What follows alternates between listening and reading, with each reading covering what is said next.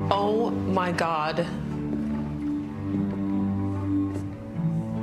Wow. You guys, I seriously feel like I'm about to cry. Same. So, we like? We love.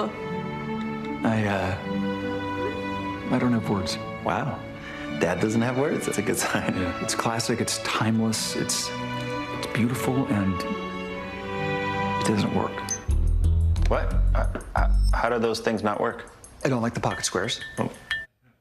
That was a clip from the latest season of 911 Lone Star, and two of the stars join us today. Yes, please welcome Ronen Rubinstein and Rafael Silva to the show. Hello, fellas. Congratulations, gentlemen, on the show and going another season. For those who may not be familiar, tell us about the characters you play. Sure, absolutely. I play Officer Carlos Reyes. Uh, he is a uh, police officer in 911 Lone Star in a firefighter show. He's the only police officer. Um, he happens to be a queer man from the Latina community. Okay. Ronen. I play TK Strand. Uh, we first meet him as a firefighter in New York. Then uh, him and Daddy Lowe um, moved to Austin to uh, bring up a new firehouse. And now TK is a paramedic and newly husband to Carlos Reyes. Oh. Now, fans love y'all so much in this connection. What is your nickname they've given you? Tarlos. Carlos. Tarlos. Yes. Hashtag this Tarlos. great. Yes. And what can fans expect coming up with the finale here?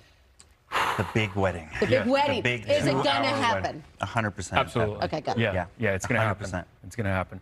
Uh, you know, we have brilliant writers. We have our the head, you know, Tim Minear and Rashad Raisani. The Tim is our showrunner, so he leads the writers' room, and uh, you know, we've they've really made sure after season one, two, three, and four, and still up until the last second. Uh, he's making sure that we're all going to earn this wedding, and we earn it right up, right up un, until the last moment. Um, and so there's some bitter sweetness behind Yeah. it, um, and Yeah. but it's going to be a beautiful wedding. And Yeah. Ronen, you, you play Rob Lowe's son. Great That's casting because I I could see it in totally the see the Thank whole you. deal. So how, how was that when you um, uh, had a, a final casting with him? I'm sure there was a reading and with and with Rob. And Yep. Obviously, you have to have a physical similarity to him. But Yeah. how was Rob with you? And talk, tell me about that process. The very first time we met was in the chemistry read. And as I go to shake his hand, he looks me dead in the eyes and he says, Yep, I see it. yep. And he said from that moment he knew immediately. Um, so it, it just sort of sparked Gives you a lot of confidence first- going into your reading. a lot of confidence, but also, you know, pretty nerve wracking. Um, but, you know, I've, I've, he's become a mentor, not just a, a, a co-worker. And, you know, he plays my father on the show. And it's been a, an incredible journey, you know, what we went through, especially the first time you meet these two in New York. It's, it, was, it was a heavy intro to these two characters. And now full circle, he's my best man at the wedding. Um, it's a really special journey we've been on. Growing up, did people tell you you looked like Rob Lowe? Like, did you hear it before this casting? So, quick, funny story, but I, I shot a pilot right before Lone Star, and it was uh, it was uh, based off Less Than Zero, the film. Yeah. Ah. And my whole style inspo for that show was Rob Lowe in the 80s. So everywhere in the wardrobe department, hair and makeup department, I would see his face My God, so from funny. the 80s. So you And then manifested this. You manifested. you went Billy Hicks style. Something happened, but and then a Did you couple get his wig in the 80s? Because he had the feather like deal. Oh, he had- that was next level. He right had the best hair. But a couple months later, I'm, I'm playing his son. It was it was meant to be, I guess. And Rafael, Yeah. big deal for you. You're home watching Jeopardy. Please Yeah. tell me you saw it Oh, live. man. When you were an answer or question in Jeopardy, what did that mean to you? No, I mean, I, I was actually shooting and I was sitting with one of our executive producers and also main director for 911 Lone Star, Brad Buecker. And, uh, and all of a sudden, he just reaches over with the phone and, you know, he shows me the picture that Tim, uh, our showrunner, sent to him. I'm like, oh, it's, it's a nice joke. This is like, who created that? He's like, no, this was on Jeopardy. I was like, me, Jeopardy? I was, he's like, yeah. And yeah, yeah, exactly. And so. there. Tough on Uh, the streets of Austin.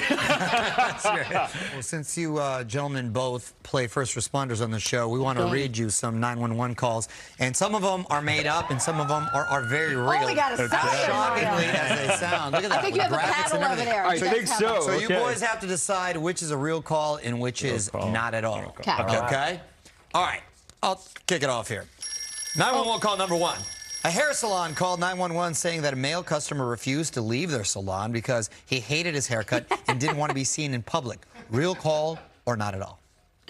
I believe that. By the way, ding, ding, ding, it's a real call. Come on! If I think that might have been me because I'm very specific with my hair. Okay. Both you guys got great going on. Yeah, so we it's- tried. We tried. There you Yeah. go. All right, Could've how been me. about this? 911 call. Oh, here we go. There's your call. A man called 911 saying he got stuck in a dangerously tight Under Armour shirt and needed help getting out. Been Real there. call or not call?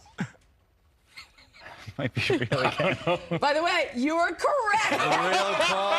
Wow. At this point, anything's possible. Wow. Wait, how tight are the Under Armour shirts? Sometimes you need help to like at least give it to my hand. Give it to my hand on the back right there. Yep, Get started. yep. Um, all right, 911 call number three. There it is. A woman called 911 from a public bathroom claiming the bathroom was putting her health at risk because the sink had no more hand soap. Real call or not at all? Oh, those public bathrooms. I, I believe in America. yeah. Not at all, boys. That's a little. That's not at all. That's a little. wi- Not like the other ones weren't wild, but All right, how about this one? Call.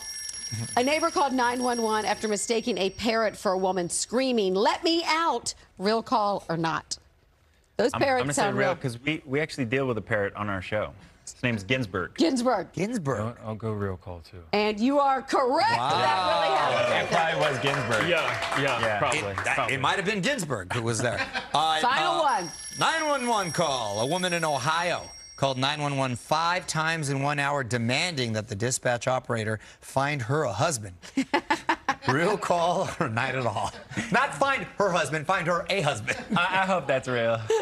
I, me too. I hope that's real, but I'm gonna say not at all. It's real. I thought I read it wrong, like to find her husband or find a husband. Find a husband. You got to incorporate that into the storyline somehow. Yeah, So let's Yeah, go. we that one in. That is a good And kick up Ginsburg. Get that parrot talking a little more. Thanks for uh, coming and hanging out, guys. Thank you for Nice to meet Listen, y'all. You can catch the season finale of 911 Lone Star tonight at 8 on Fox. Coming up, we're showing you our favorite animals of the week. It's our Majestic Beast edition. Get ready for that. That's so great. Did you get the Lester